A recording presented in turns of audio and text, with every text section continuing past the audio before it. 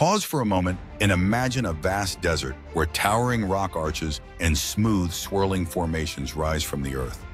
These breathtaking shapes aren't made by human hands.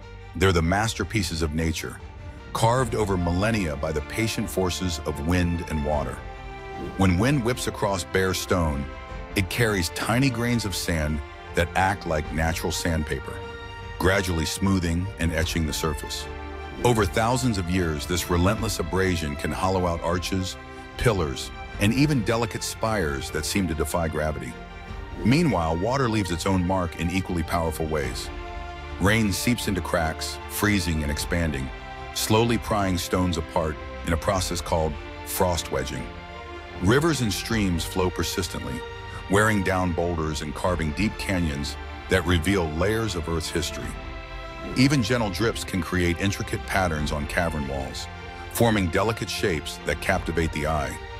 From the surreal hoodoos of Bryce Canyon to the wave-like rocks of Arizona, these natural forces craft landscapes that seem almost otherworldly.